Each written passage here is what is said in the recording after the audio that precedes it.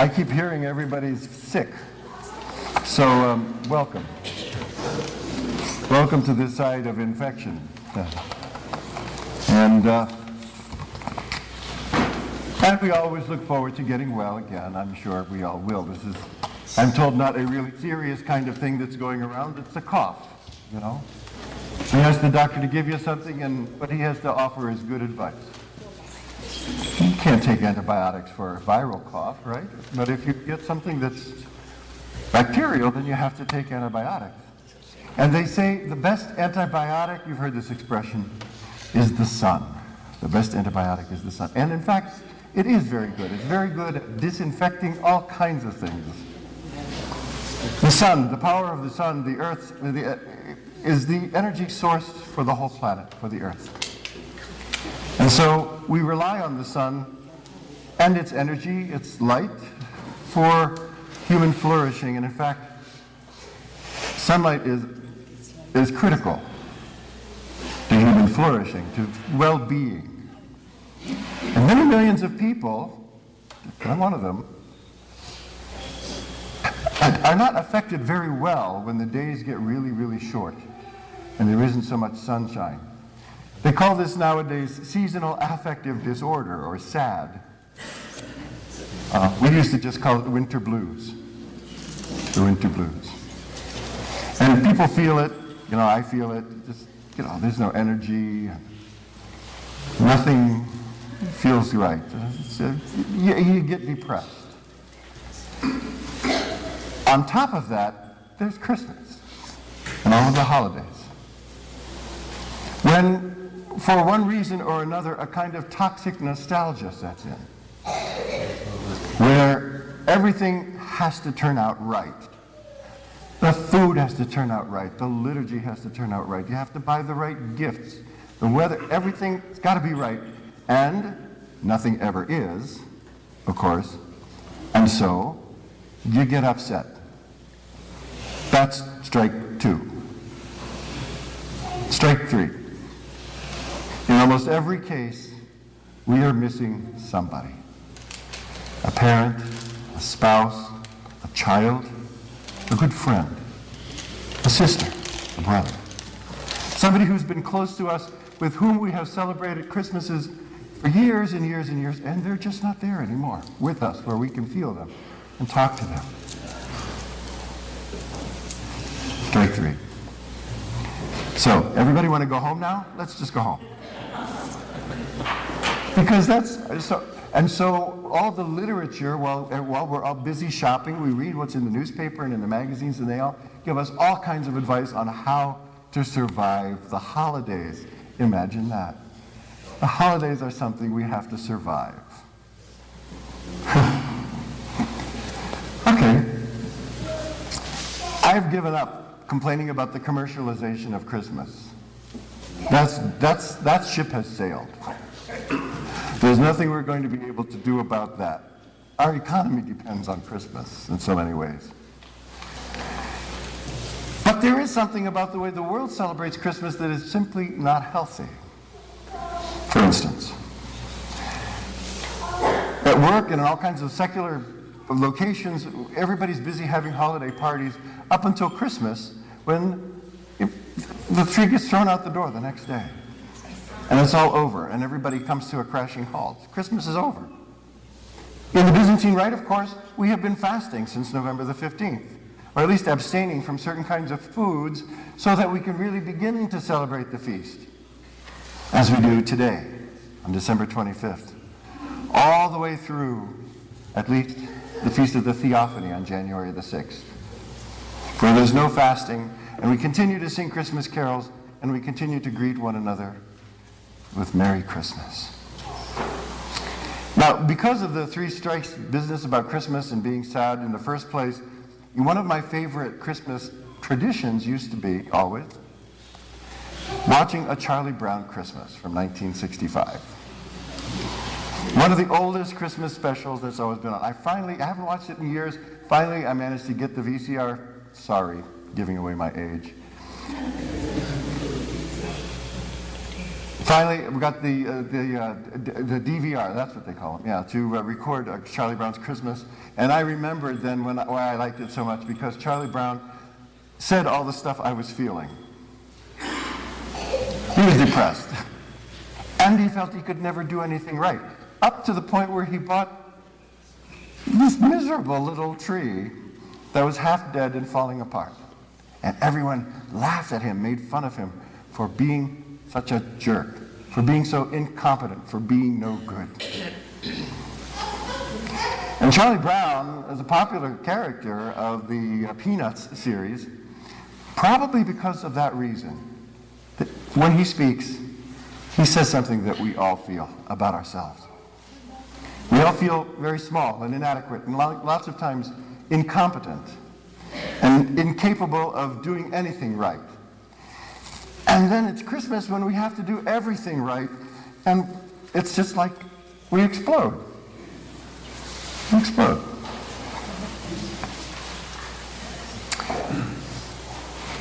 When the fullness of time had come, God sent his son, born of a woman, born under the law, that he might redeem those who were under the law, that we might receive the adoption of sons and daughters. And if we are God's children, then we are also heirs of all that God is, of all that God has, and all that God does. Today, we celebrate the birth in the flesh of the one who came, the Word of God, the Word of God that tells us, you're all right, Charlie Brown. You're okay. You're good. I accept you. I love you. You don't have to do everything right. You don't have to do anything right.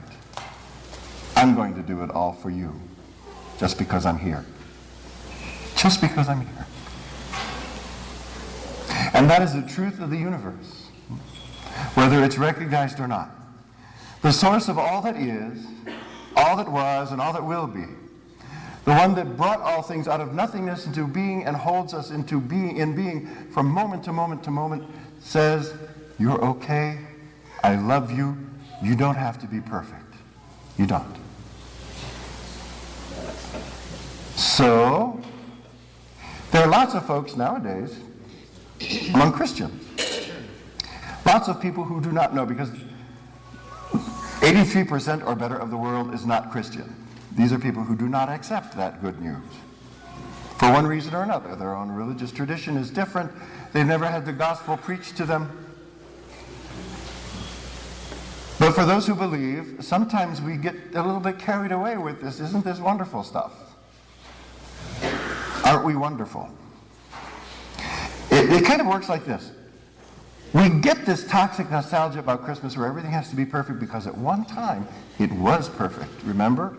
Do you remember getting up in the morning or whatever it was that you did in your homeland as a custom and it was Christmas and you got gifts and everybody was telling you, you felt like you were worth something because you got all of this good stuff. Somebody cared enough about you to give you this good stuff. Right? But you know, parents are always in the background with the ulterior motive. They give you all this good stuff but then they put conditions on it. Are you on the naughty list or the nice list? I think it's in Germany they have the custom of Krampus, I think, a demon that comes and tries to. The parents warn them that if they're not good, it's going to take them away just before Christmas. We tie this condition, be good and get presents, be bad and don't get presents, into the feast that's supposed to be all about free gift. So we end up, as adults, living with this conditional kind of love.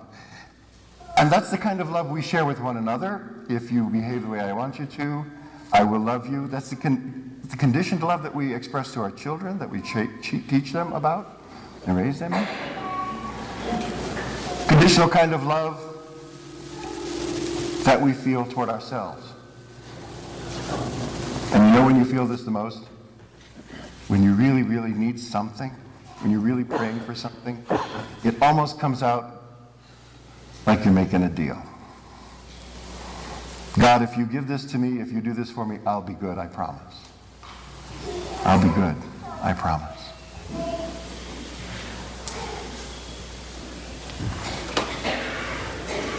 That's not what the child in the manger is telling us. The child in the manger is telling us that our Father loves us no matter what. But we have to look and find out for ourselves. We have to look in that manger to see where God is because that's where God put himself. For us to see him when we can see him for the first time with our physical eyes. We have to go like the Magi got up and they saw something rising. They saw his star rising in the east. And they followed the star to the manger in Bethlehem, where they saw what God was doing for humanity. In other words, while God's love is unconditional, we have to know it, first of all. And then there is a moral component to this. Because God loves us unconditionally, because we are heirs of all that God is, of his love, of his power, of his immortality, God calls us, invites us to a life of being like him. He invites us to give birth to Christ ourselves in our lives. And it is true, I think, that if the birth of Christ does not happen here, it doesn't happen anywhere. And because it's happened sort of out here, at the cultural level, at the whatever kind, at the religion level, and not enough in here, the world continues to writhe in agony. The world is still in pain.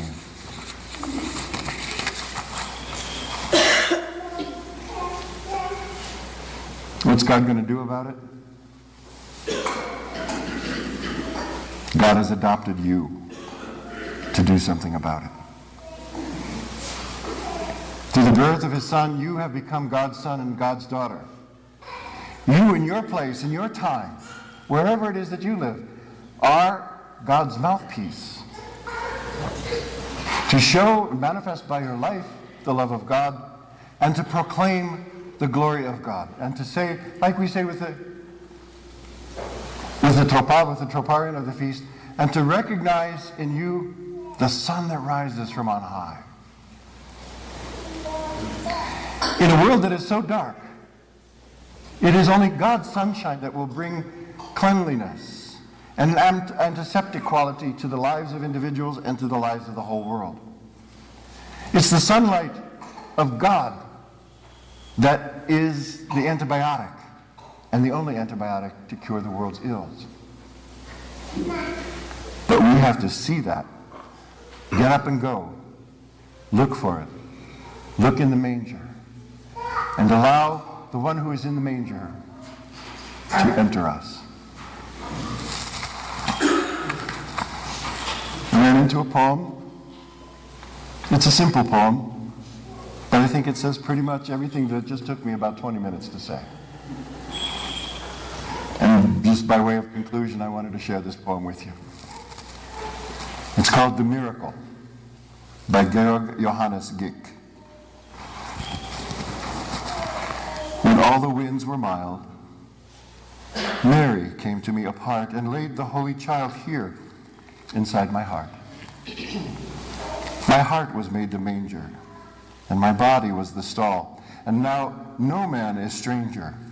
My life goes out to all. Bring to each of them the child of heaven's light, to let them enter in like flames of candles to the holy night. Relax. If the crown roast gets burned, or you didn't get the gift that you want, or somebody said something the wrong way and you turn into a big crank, over because we're family, right? This is what happens. God is with us. And because Christ is here in our hearts, even through the difficulties, no one is a stranger to us. No one.